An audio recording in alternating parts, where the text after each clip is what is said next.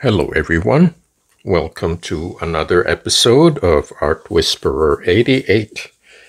Today, I'm going to feature a brand new paper called Fabriano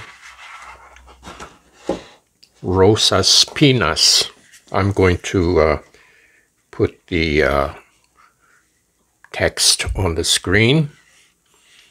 Uh, it is a new dim uh, dimension here. It instead of the regular 22 by 30, this is a little bit smaller. This is 20 inches wide by 27 and a half. So it's very slightly smaller than my regular 22 by 30 format.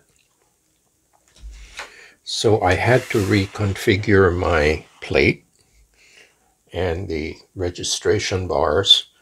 I had to move the left side registration bar closer to the plate and the same thing with this I had to move shift the plate slightly higher so it gets centered on the paper because the width and the length are different so uh, another thing about the Rosa Pinas, it does have a watermark. It's a very beautiful watermark, actually. I don't know if you can see it. See that? It's stamped Fabriano. So if you hold it up against the light on the other side, you will see the trademark. And I think that's very neat. So I'm not sure if there is a right side or a wrong side. But what I'm going to do is I'm going to use the smooth side. That's the side that I'm going to use for printing. So it's going to be like this when I place it on the plate. The paper very slightly curves this way. So that's the way, another way that I can determine that it's the side that I want to print on. So anyway, um, let me get started with the plate. Today I'm going to use my acrylic paint pen. This is a no-name brand acrylic paint pen from Amazon. I'm going to start by doing my scribbles. Now, like I mentioned before, drawing with a paint pen on the gel plate is a little challenging because it there's a bit of uh, resistance since it's a very flexible surface. So I have to control the pen, otherwise it's going to start skipping.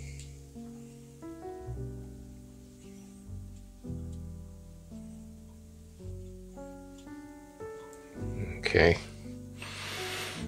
that's it for the first layer. By the way, this is a brown. Um, I'm not sure it even tells you what color it is, um, but I think it is brown.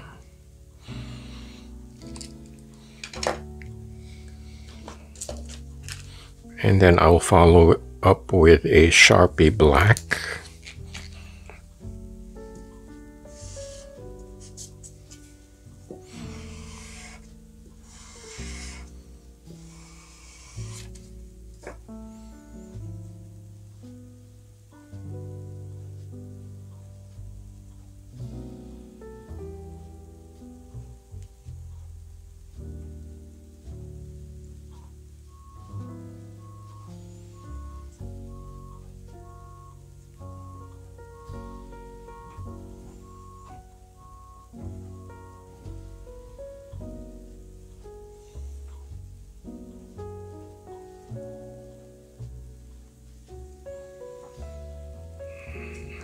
Okay, so that's my first layer of marks. And uh,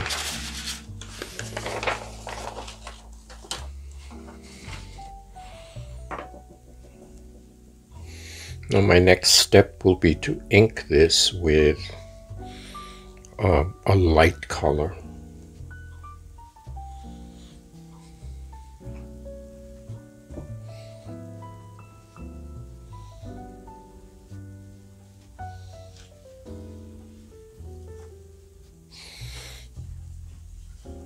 Going to do a Naples yellow.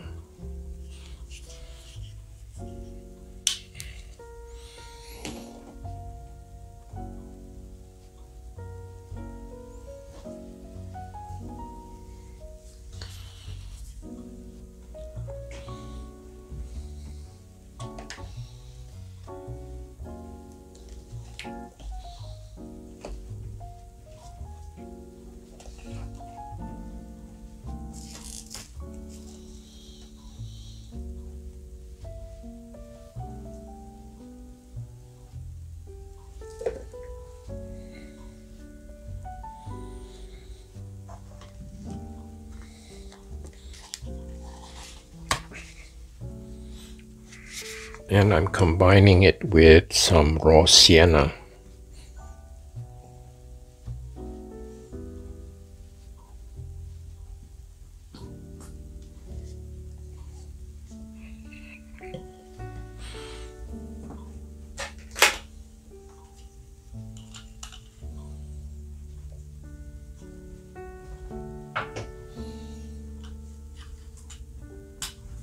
So I'm starting in the middle color. And then moving my way outwards. So I have two zones of yellow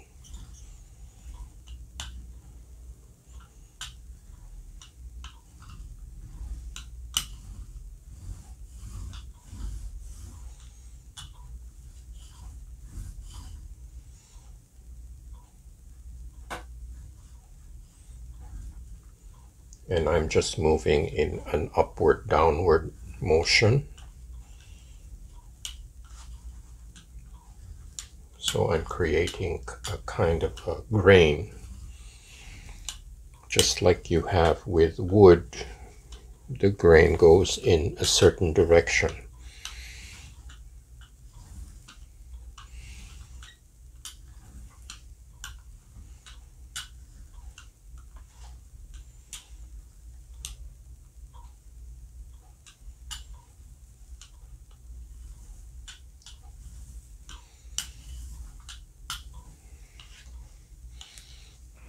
Okay.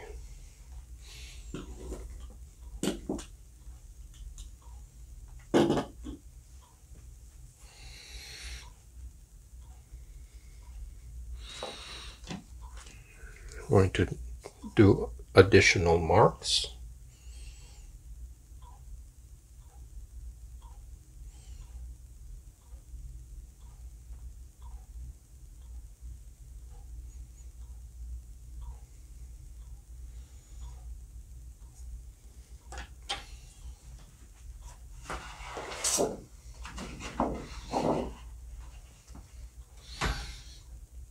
and hopefully this is going to be in the middle or centered on the paper.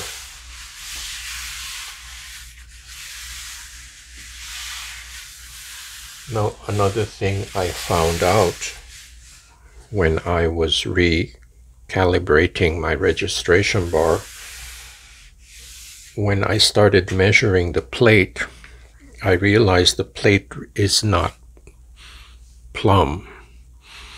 In other words, in some areas it's wider and in some areas it gets narrower so it's really not 90 degrees so I have to take the average kind of eyeball it um, now you may not be as particular about the edges, but I really prefer that the image is centered properly in the middle of the paper. Uh, and when I make many prints, what happens when you register properly, the image always falls in the same place. And it becomes critical when you are doing several layers that they line up. So that's just a, a note.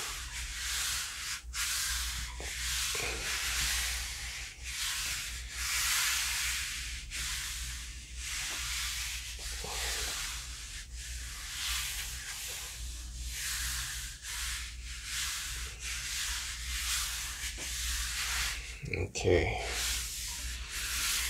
Now I have never used this paper before. It has a beautiful smooth finish and it seems very soft and supple. So I, I won't leave the paper on too long.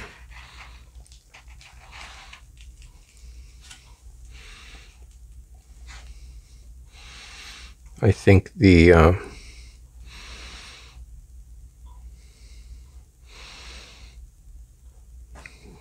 print has transferred well. It's really stuck on the plate.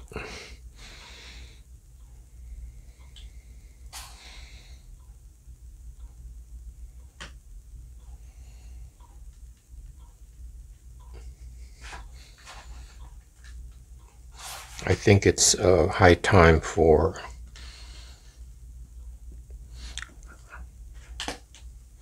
you know what I'm gonna do something different I'm going to try to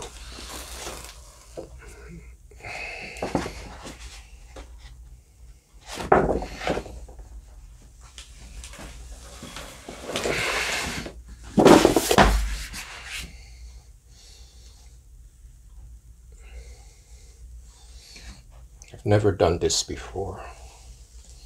This reminds me of my professor in school. She did something and she said, Never do this. And it's funny that that's what I remember.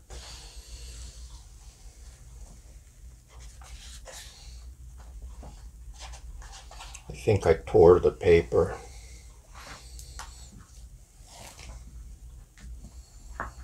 Well, so much for the durability of this paper. It's fragile. It's very beautiful, but it is fragile.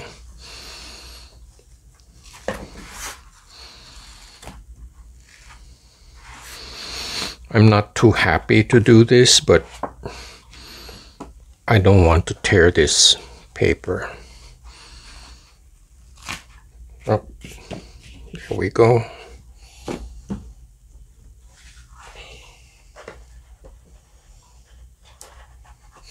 So it looks like it's not really suitable for doing layers.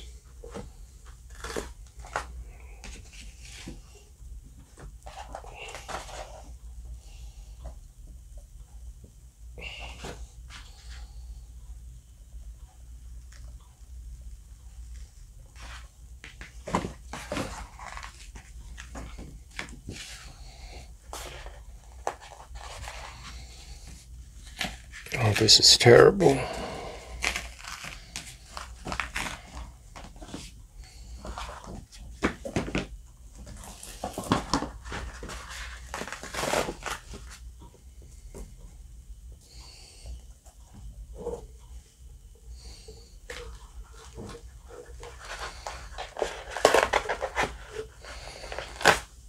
Another train wreck. And you saw it first on Art Whisperer 88. I think other artists would be ashamed to show this disaster, but I'm showing you what the real world is.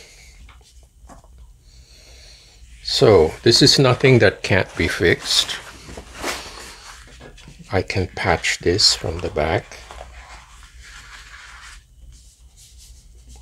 In fact, I'm going to do it now.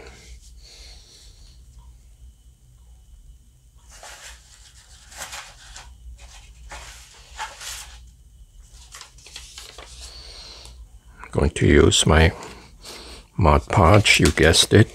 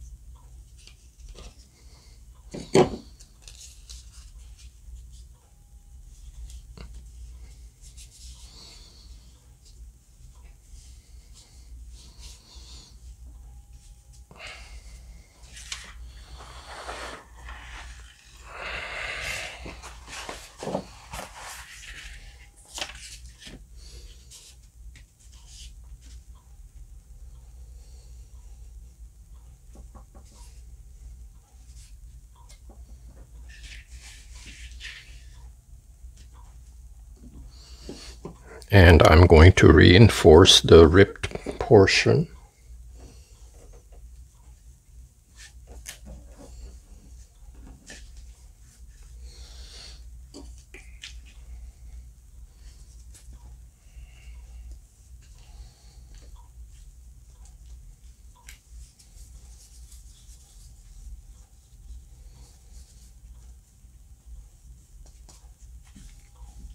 Well, one word of advice is when this happens is do not flip out. Do not panic.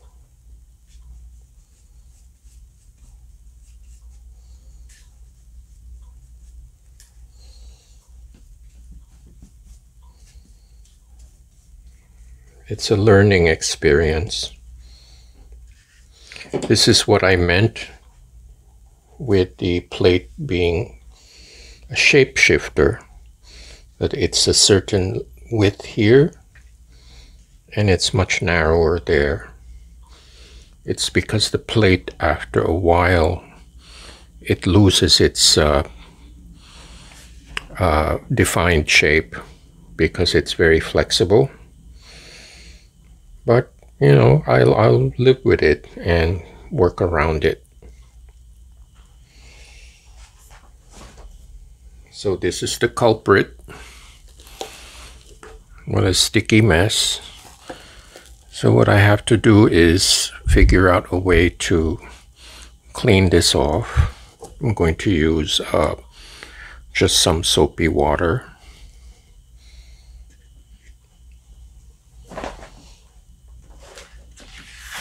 The silver lining is I like the transfer of the marks.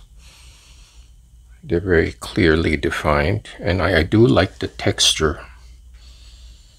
So that was a harrowing first layer. I wouldn't wish it on any artist. So back in a few minutes.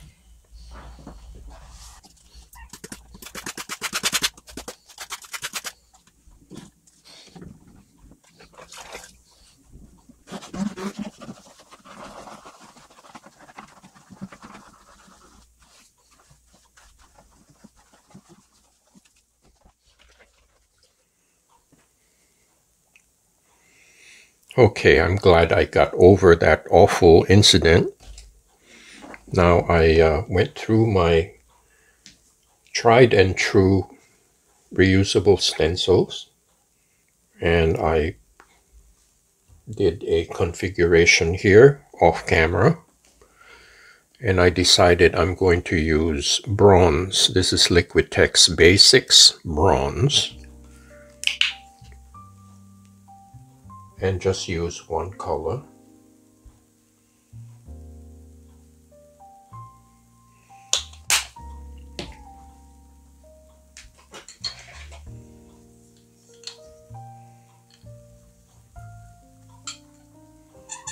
Now since I'll be working around these stencils, I didn't see the need to use a wide brayer. I'm kind of just filling in the gaps. I don't see the need to ink on the stencils themselves. So this, I apologize for this squeaky, squeaky brayer.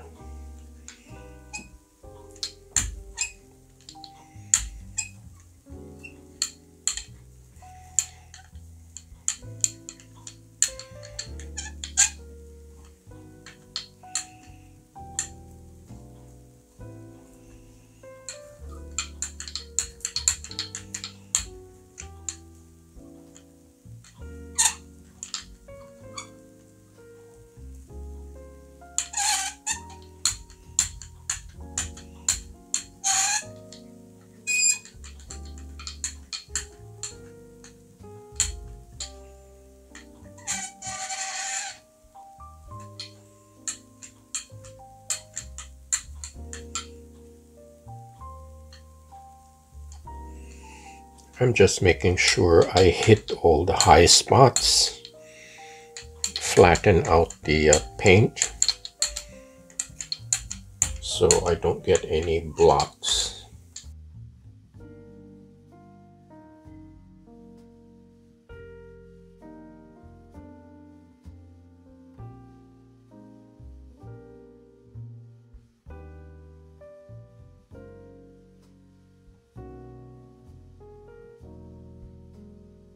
So now that I know that the Fabriano Rosaspinas is more delicate, I'm going to be careful and not let the paper sit too long.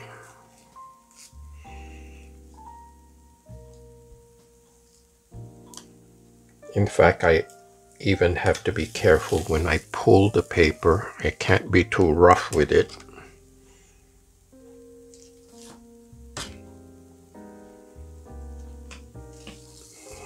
So you learn by doing because otherwise I wouldn't I wouldn't know how because I've never used that paper before.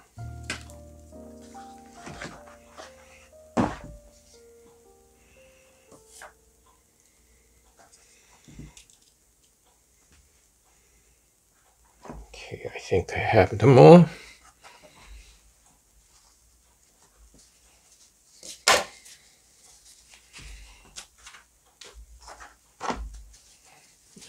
Making sure my fingers are clean.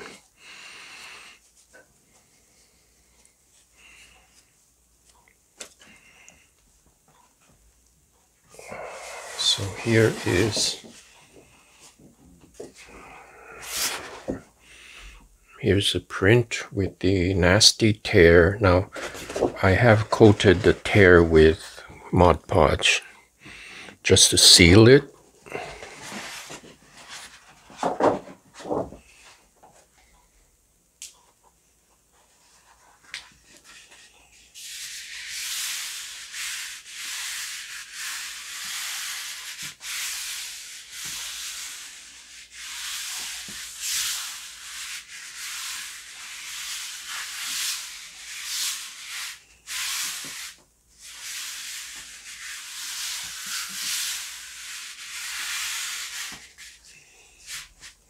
Okay.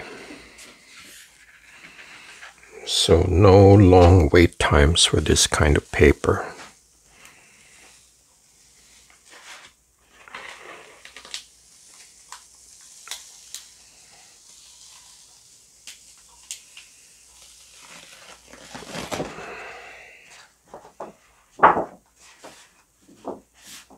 It's a little bit of an improvement. That is the second layer and then I can think about what comes next. In the meantime, this is such a nice ghost print. I will use this parchment.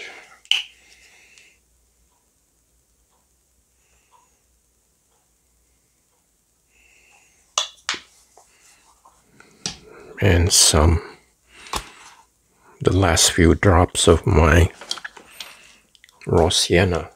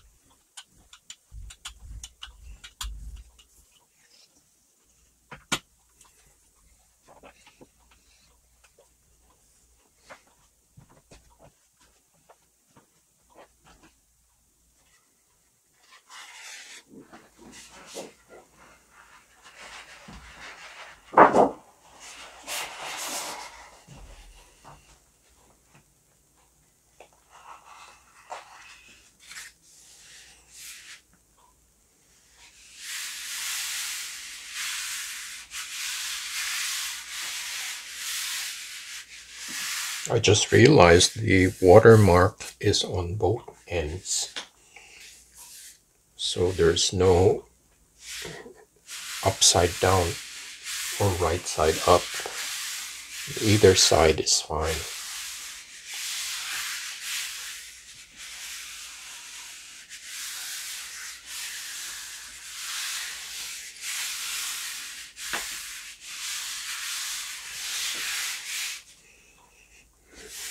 Okay, let's see what we have here.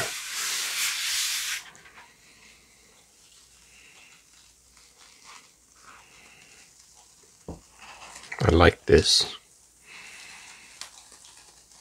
Very subtle and no tears.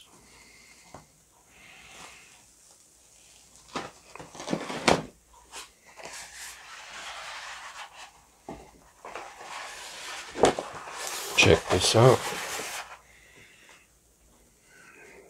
Very beautiful modulation of tones, kind of a monochromatic motif. It's like an old Egyptian,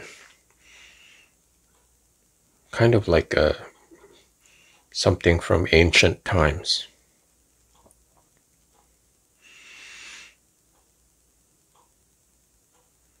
So I'm glad I got over the uh, that hump. So I'm going to air dry this and I'll be right back.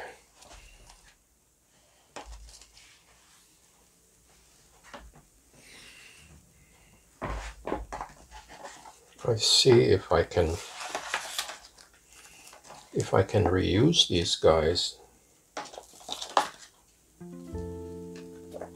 and have them face down instead.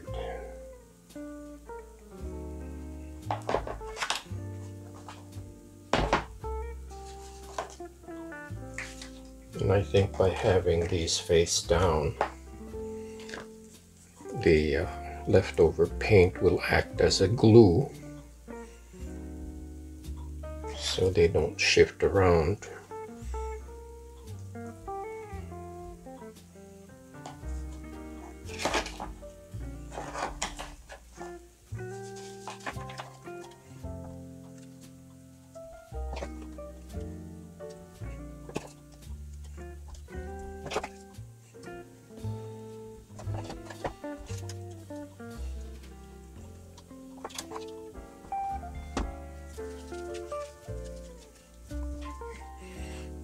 Let me try a mix of a mix of green oxide.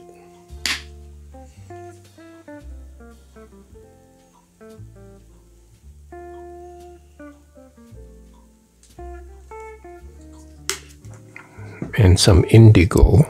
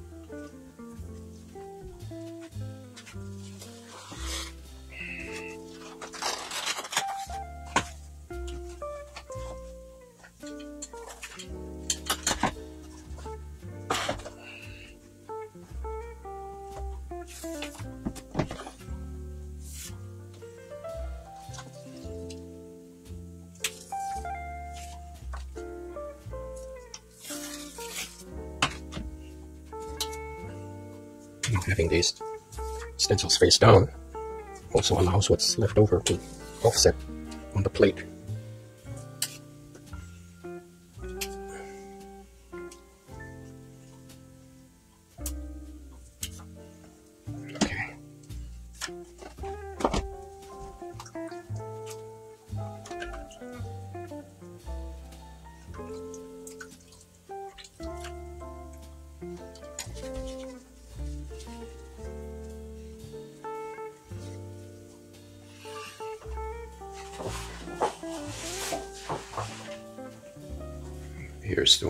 Second layer.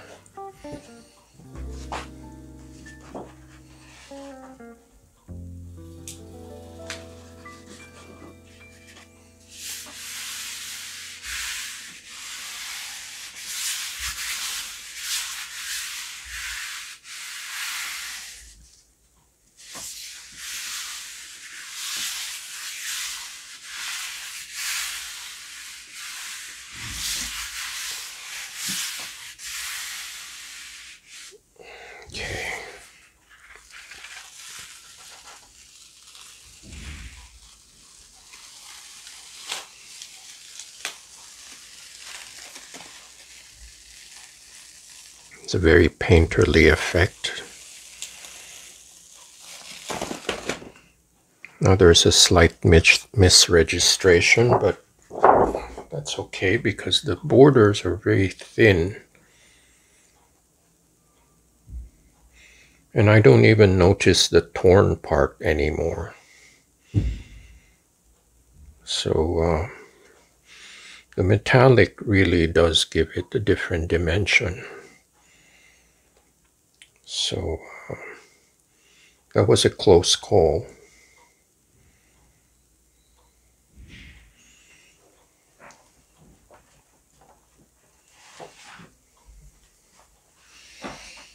Now I think this will make a beautiful ghost print. Um, I'm going to do something different here.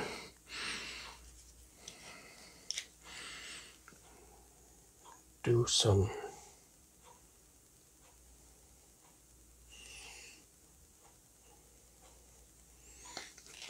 a mix of Naples yellow and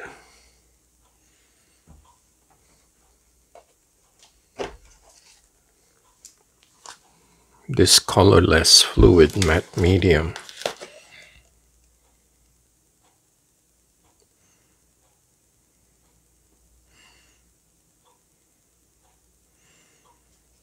So there'll be parts of it that are clear and there will be parts of it that have the Naples yellow. Let's see how this goes.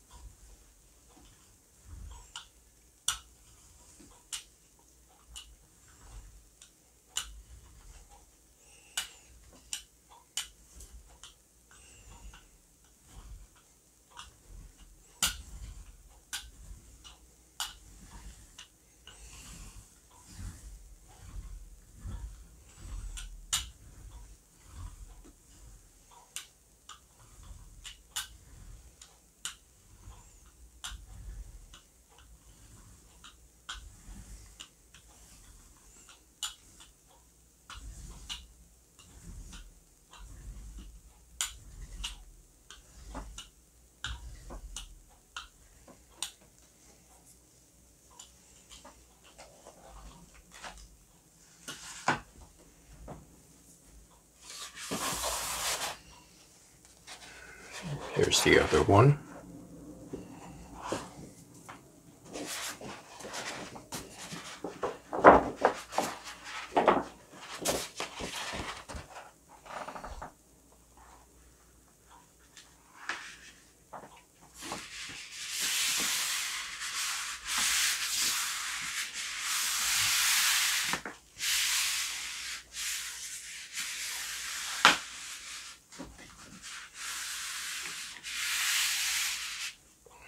Yeah for for this is just my uh, observation the thinness of the paper is a bit of a problem for me because I'm used to more uh, sturdy papers.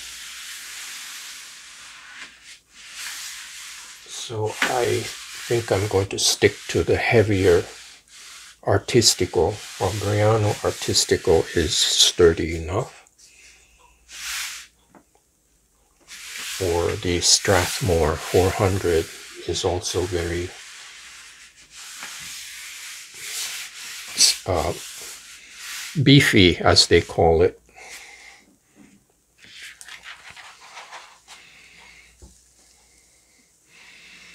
But I think this texture is beautiful. I think I can tell already. It's like like a watercolor.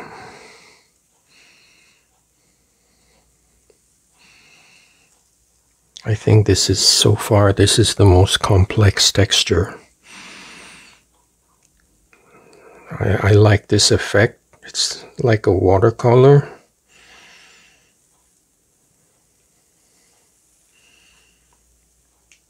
And it's very subtle and soft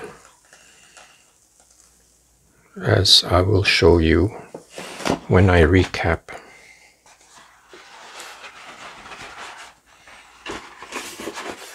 Think the uh, textures are gorgeous.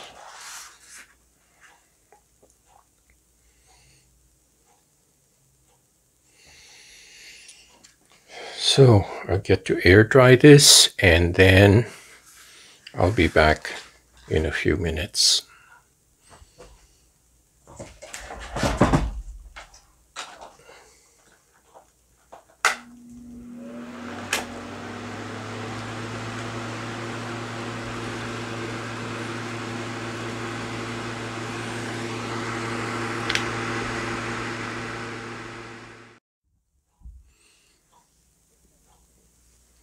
Okay, back from a short break. I went through my box of uh, scraps and then this is uh, what's left of my cheat sheet. The one that has uh, gold and uh, vermilion. I forget the name. I think this is cadmium red light and I think this will make a nice addition to this piece because it has uh, such good complementary colors. So I'm going to go ahead and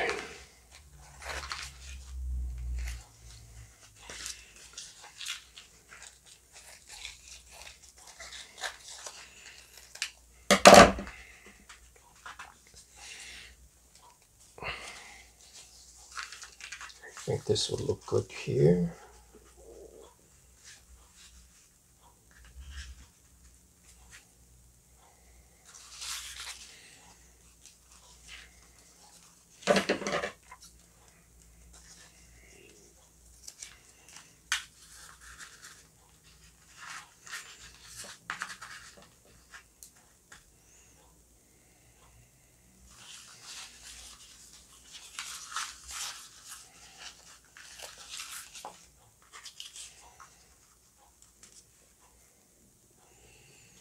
I think it makes a nice counterpoint to the soft uh, dark green colors.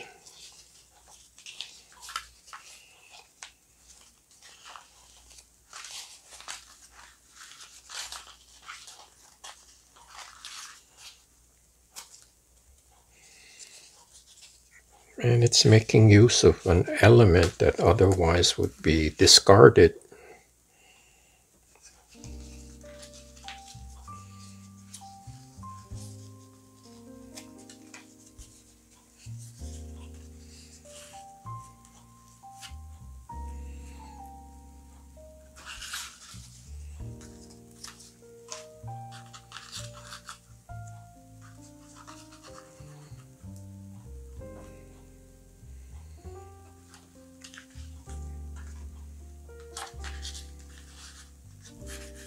that makes a nice composition.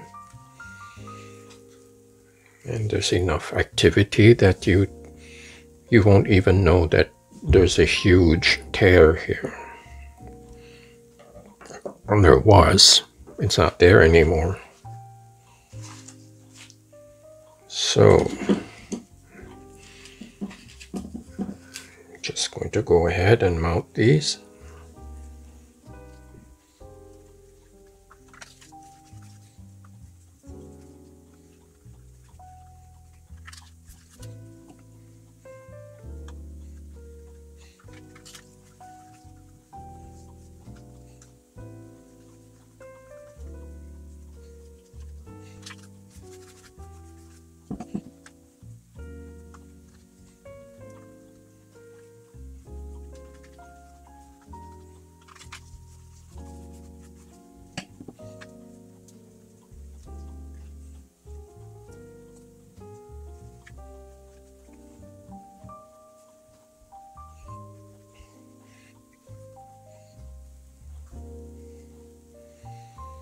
I find that the plastic sheet is remarkably well behaved.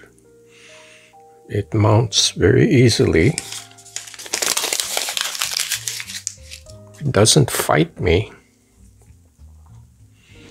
So that's it for the first collage.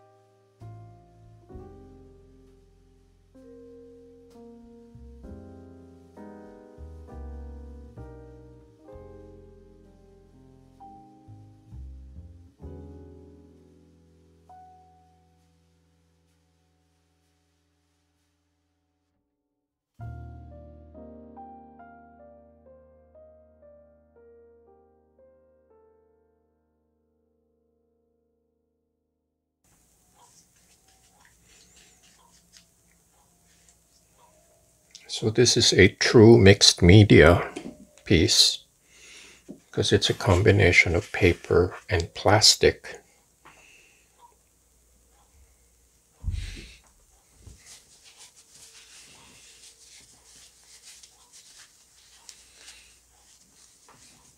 So um, I'm going to air dry this with the uh, desk fan. And I'll be right back to recap. Okay, everybody, this is my favorite part where I get to do a recap and uh, by now the pieces have dried and the texture has improved a lot. Let me show you a close-up.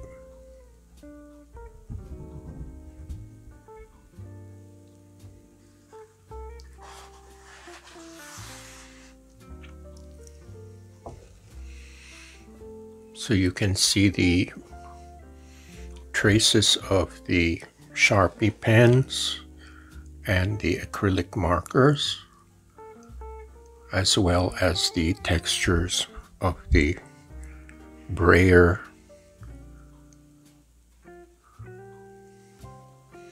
and the pieces of cheat sheet, little plastic cheat sheets.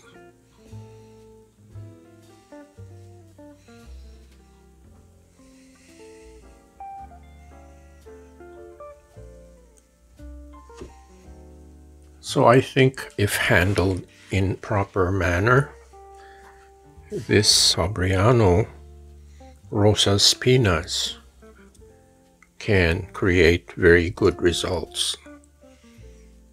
I just have to be careful when I pull the print. I have to do it in a timely manner.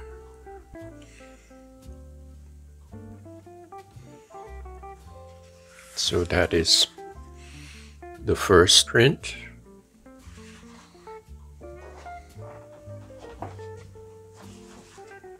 Now this is my favorite, of course, because it's a ghost print. And I love the leftover leaf here. This is looks like copper leaf. Here's a close-up.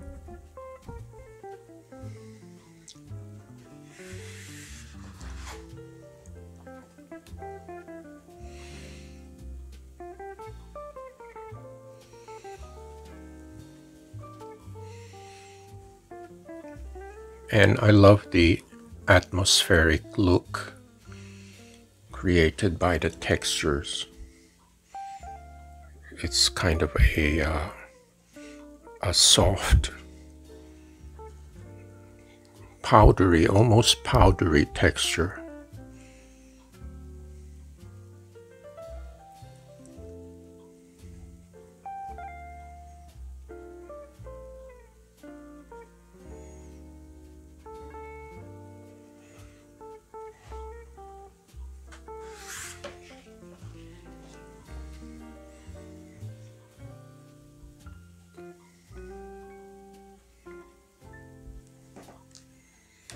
So there you have it.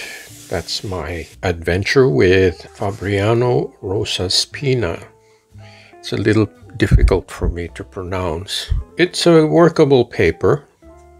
It's very affordable. I did some more research and the reason why the thinner, less expensive paper don't hold up as well because they are not made of cotton, they're made of wood pulp. Now, wood pulp is not as strong as cotton fiber. Uh, cotton fiber is very fine and holds up to washing. I mean, you, you know that every day when you do the laundry. Now, wood pulp has its strength because it's mixed with sizing and it does feel very nice when it's dry but it's a lot cheaper and not as strong. So that's you know the difference between wood pulp versus 100% cotton. So uh, that's the old saying you get what you pay for. But since I'm doing experimental work, feel more comfortable using less expensive materials. You know, I'm trying to keep costs down and I'm going to reserve the expensive European papers for uh, more tried and true methods. To me, learning about the paper and how different materials behave to me that is worth makes it all worth it. So thank you so much for watching and coming along for the ride. And I hope to see you next time.